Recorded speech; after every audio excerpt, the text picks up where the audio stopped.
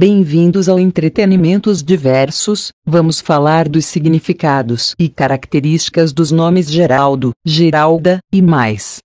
O nome Geraldo é originário do germânico Gerwald e significaria guerreiro forte.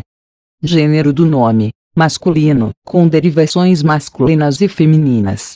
A partir da versão germânica, Gerwald, o nome Geraldo começou a ser usado em Portugal e acabou se disseminando também no Brasil.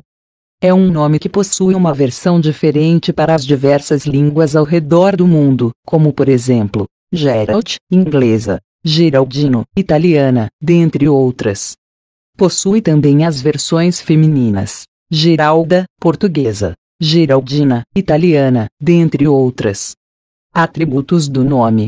O nome Geraldo tem como atributos coerência, raciocínio, calma, energia, luta, foco, força, comunicação, simpatia, conhecimento, trabalho e carisma.